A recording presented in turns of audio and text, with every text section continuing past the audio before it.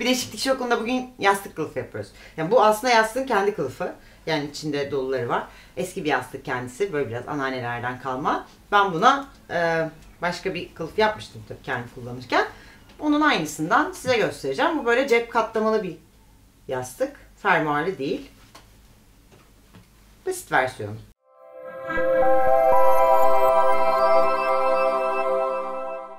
Size kaç kaç bir e, yani kesimini yaparken kumaşı ne hesap ettiğinize ve bu e, içeriye doğru cebin katlamasını nasıl e, önceden iğnelediğinizi, hazırladığınızı göstereceğim.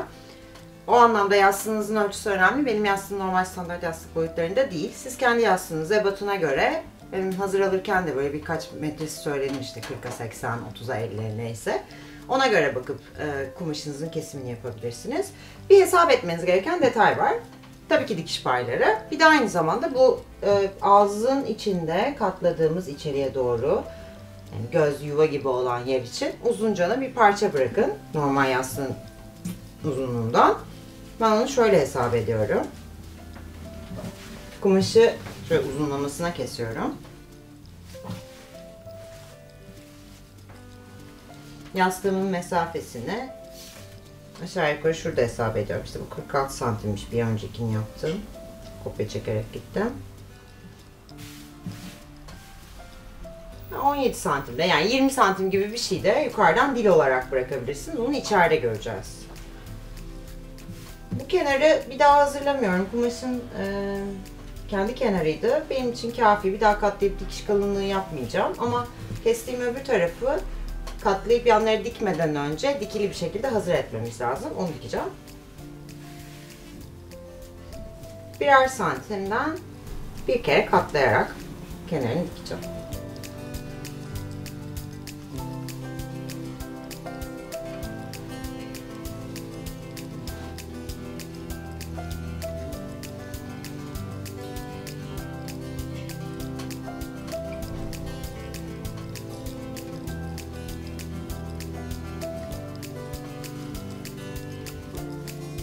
Bunu her zaman gibi ütüle önceden hazırlayabilirsiniz. Katlayıp hizalı yapıp yapmadığınıza emin olamıyorsanız iğnelemeden önce.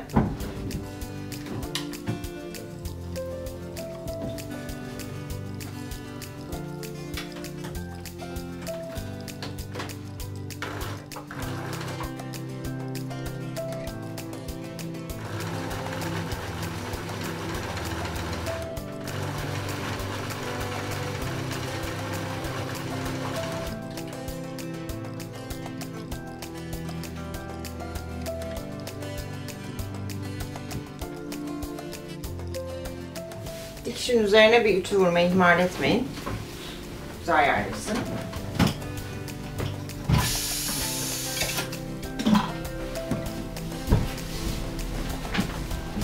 Şimdi o meşhur katlamasını yapacağız.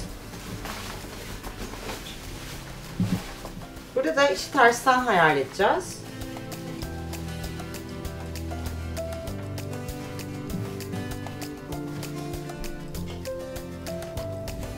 Kılıfın yüzünü tersten bir şekilde üst üste getiriyorum.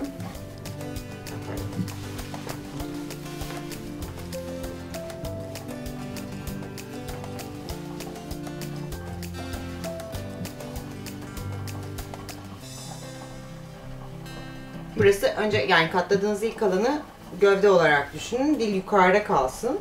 Önce onu bir eşleştirin mesafenize göre. Bu aslında yandan dikeceğiniz yere. Ama üzerine dili şimdi bu şekilde kapatarak dikiyoruz. Ters çevirdiğimde tam olarak içeriye bir cep olarak kalmış olacak. Belki ilk seferlerde biraz ezberden gidebilirsiniz. Ondan sonra mantığı kafanıza oturur. Aynı şeyi başka ölçeklerde çanta, kese vesaire gibi formlarda deneyebilirsiniz.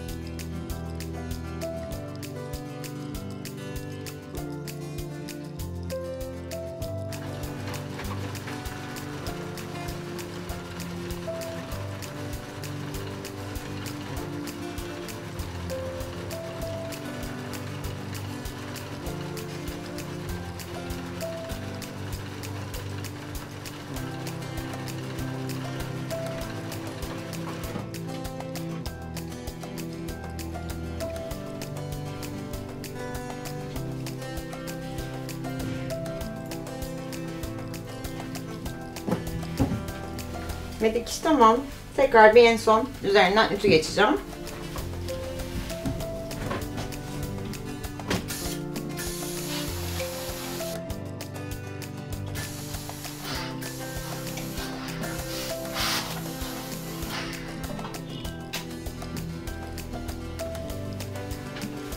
Şimdi ters çevirirken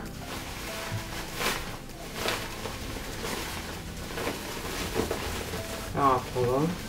Boncuk içeride kalsın.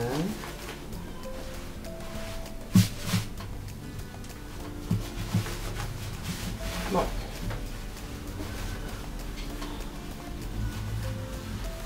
Yani önden görüntüsü böyle.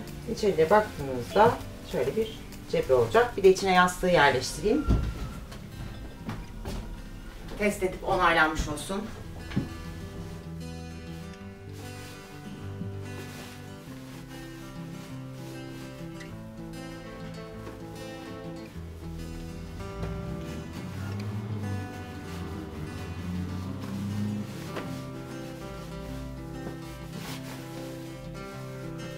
Böyle. Bu yastık videomuzun da sonuna gelmiş bulunuyoruz sayın izleyiciler. Görüşmek üzere.